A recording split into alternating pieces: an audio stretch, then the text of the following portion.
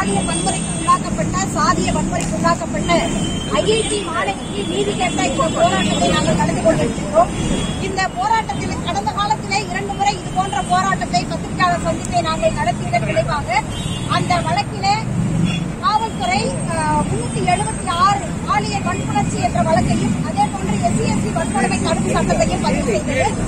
தொடர்ந்து என்னுடைய போராட்டத்திற்கு பின்பு அந்த வழக்கு சிபிசிஐடிக்கு மாற்றப்பட்டது ஆனால் இன்றைக்கு இந்த காவல்துறை சிபிசிஐடிக்கு அந்த வழக்கை மாற்றிய பின்பு இரண்டு பேர் அவர்கள் தங்களுடைய ஜாமீன் கேட்டு நீதிமன்றத்திலே மனு போட்டிருந்தார்கள் ஆனால் அவர்கள் மனு தாக்கல் செய்திருந்த போது ரெகுலரா விசாரிச்சுட்டு இருந்த காவல்துறையும் எந்த விதமான ஆட்சேபனையும் நீதிமன்றத்தில் தெரிவிக்கவில்லை.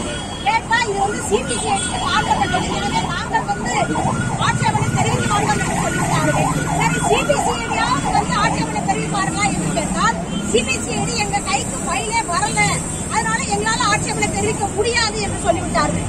இவ்வளவு ஒரு கொடுமையான ஒரு வழக்கிலே தமிழக காவல்துறை சிபிசிஐடியை சாத்து சொல்றாங்க. சிபிசிஐடி எங்கிட்ட பயில் வரலன்னு சொல்றாங்க. அப்ப ரெண்டு குற்றவாளிகள் வந்து முன்ஜாமீன் கேட்டு மனு தாக்கல் செய்யும் போது எந்த விதமான ஆட்சேபனையும் தெரிவிக்காததால் அவங்களுக்கு இன்னைக்கு ஜாமீன் கிடைச்சிருச்சு. மூன்று குற்றவாளிகள் வெளிநாட்டுக்கு தப்பிச்சு சென்றுட்டாங்க.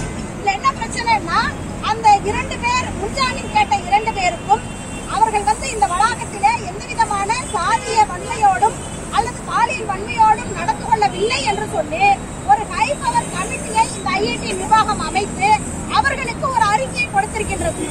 இந்த அறிக்கையை பாதிக்கப்பட்ட மாணவி கேட்கும் போது இந்த ஐஐடியுடைய ரிஜிஸ்டார் வந்து நாங்க வந்து உனக்கு தர முடியாது. என்னைக்கு இந்த வளாகத்தை விட்டு வெளியில போறியோ அப்பதான் நாங்க வந்து அந்த ஹை பவர் கமிட்டியினுடைய ரிப்போர்ட்டை தருவோம் அப்படின்றாங்க. இப்ப இப்ப என்னன்னா தமிழக அரசாங்கம் சிபிசிஐடி இந்த ஐஐடி நிர்வாகம் ஒட்டுமொத்தமாக பாதிக்கப்பட்ட பெண்ணிற்கு எதிராக குற்றவாளிகளுக்கு சாதகமாக தான் செயல்பட்டு கொண்டிருக்கின்றது என்ற குற்றச்சாட்டை நாங்கள் முன்வைக்கிறோம் அது மட்டும் இல்ல அந்த பொண்ணு வந்து பிசிசி இப்ப சப்மிட் பண்ணணும்னு சொல்லுது. ஏற்கனவே வந்து மூணு பேப்பர் அந்த பொண்ணு சப்மிட் பண்ணியிருக்குது. மூணு பேப்பர்ல வந்து ரெண்டு வந்து பப்ளிஷ் ஆயிடுச்சு. ஒண்ணு வந்து இனிமே தான் அப்லோட் பண்ணணும். ஆனா அதை இந்த ஐஐடி நிர்வாகம் அனுமதிக்க மாட்டேன்றாங்க. பிசிசி மட்டும் சப்மிட் பண்ணிட்டு போன்றாங்க. அந்த பொண்ணு கடந்த ஆறாண்டு காலமாக அவ்வளவு சிரமப்பட்டு அந்த மூணு பேப்பரையும் வந்து தயார் பண்ணியிருக்கு ஒரு பேப்பரை வந்து அப்லோட் பண்ணி தீசிஸ் பண்றேன்னு சொல்றதுக்கு சப்மிட் பண்றேன்னு சொல்றதுக்கு இந்த நிர்வாகம் அனுமதிக்க மாட்டேங்குது. எனவே இந்த நிர்வாகம் முழுக்க முழுக்க அந்த பெண்ணை இந்த வளாகத்தை விட்டு முதல்ல வெளியேற்றணும் அப்படின்னு தான் நினைக்குது. ஒரு தன்னுடைய வளாகத்திற்குள் ஒரு பெண் பாலியல் வன்முறைக்கு உள்ளாக்கப்படுகின்றால் சாதிய வன்முறைக்கு உள்ளாக்கப்படுகின்றால் என்று சொன்னால் சட்டப்படி அவள் அவளின் பின்னால் தான் வந்து இந்த நிர்வாகம் நிற்கணும். ஆனா இவர்கள் முழுக்க முழுக்க குற்றவாளிகளை சப்போர்ட் பண்ற ஒரு ஏற்பாடு தான் இந்த நிர்வாகம் இன்றைக்கும் செய்து கொண்டிருக்கின்றார்கள். இன்னொரு புறம் என்ன அப்படின்னா ஐசிசி இன்டர்னல் கம்ப்ளைண்ட் கமிட்டி அந்த கமிட்டி வந்து ஒரு ஆரம்ப கால அறிக்கையை மட்டும்தான் கொடுத்திருக்கிறாங்க. அந்த அறிக்கையில் இதே நிர்வாகம் சொல்லி இருக்கின்றது நடந்ததெல்லாம் உண்மை. அதற்குரிய எல்லா ஆதாரங்களும் இருக்கின்றது என்று சொல்லி முதல் கட்ட அறிக்கையை சமர்ப்பித்து விட்டு ஃபைனல் ரிப்போர்ட் கேட்டா ஃபைனல் ரிப்போர்ட் தர மாட்டேங்கிறாங்க ஃபைனல் ரிப்போர்ட் வந்து அறுபது நாளையில கொடுக்கணுங்கிறது சட்டம். ஆனா அந்த ஃபைனல் ரிப்போர்ட்டை இனி எப்படி அவங்க ரெடி பண்ணுவாங்கன்னு எங்களுக்கு தெரியல. நிச்சயமாக அந்த ரிப்போர்ட் வந்து பாதிக்கப்பட்ட பெண்ணிற்கு எதிராக குற்றவாளிகளுக்கு ஆதரவாக தான் இருக்கும் என்பதை நாங்கள் கருதுகிறோம்.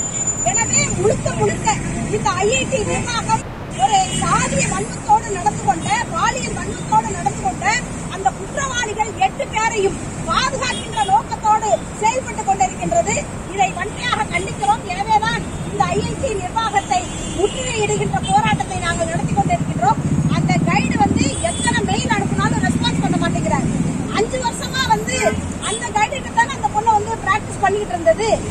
ஆனா இன்னைக்கு வந்து அவர் வந்து இப்படிப்பட்ட ஒரு கைடுக்கு எப்படி வந்து அந்த பொண்ணு வந்து தீசிஸை சப்மிட் பண்ணி அது வந்து இந்த ஐஐடி பிஹெச்டியை முடிக்கும் அப்படின்னு தெரியல. அதனால வந்து பல முறை அது வந்து தற்கொலை நோக்கி போயிருக்கு. இந்த ஐஐடி நிர்வாகம் பண்றது நிச்சயமாக அந்த பெண்ணை ஒண்ணு தற்கொலைக்கு தள்ளணும். இல்ல அப்படின்னா அந்த நிர்வாகத்தை விட்டு வெளியேற்றணும். அதுதான் வந்து இந்த ஐஐடியோட முக்கியமான நோக்கமாக இருக்கின்றது. எனவே இந்த அநியாயத்தை கண்டித்து அக்கிரமத்தை கண்டித்து அந்த பெண்ணுக்கு நீதி கேட்டு இன்றைக்கு அனைத்து இந்திய ஜனநாயக வாத சங்கமும் தமிழ்நாடு தீண்டாமை ஒழிப்பு முன்னணியும் இந்த போராட்டத்தை நாங்கள் நடத்தி கொண்டிருக்கிறோம்.